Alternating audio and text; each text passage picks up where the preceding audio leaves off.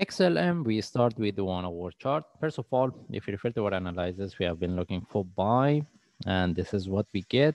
And even if we, if anyone get the trade from here, from this move, and the targets could be 27% based on 0.37. And if we consider as a 61% of the FIB, which is 0.386, as we can see the price almost near to the first target, and after that drop. No one see still we want to see whether the, i mean if you're looking for continuation we want to see whether the price can break this zone or not. Anyway we move to higher time frame. We want to see what we are looking for. I mean what we can look for. Again if we refer to our analysis we have been looking for reversal. This is what we get. We want to see whether the price can continue and retest the previous stop or not. This is what we have been looking for and what we have been discussing. Okay?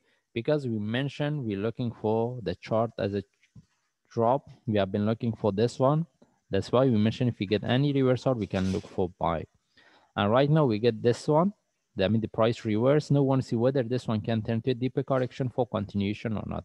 The only things I need to highlight here that since there was no divergence between these two moves, maybe we can get one move up, internal flat, price drop before we get the reversal. We need to be aware about this okay? That's mean still i'm looking for continuation but we need to be aware about bigger picture. Most of the charts they have the similar movement and right now i'm looking for the flat okay?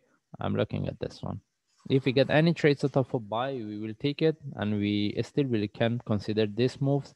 I mean we want to see the breakout of this zone okay? But after the price broke the top we need to refer to the indicators whether we have a divergence or not it depends how the price can break as a sharp move or corrective move. Anyway, we just follow the chart. If I see any update, I will share.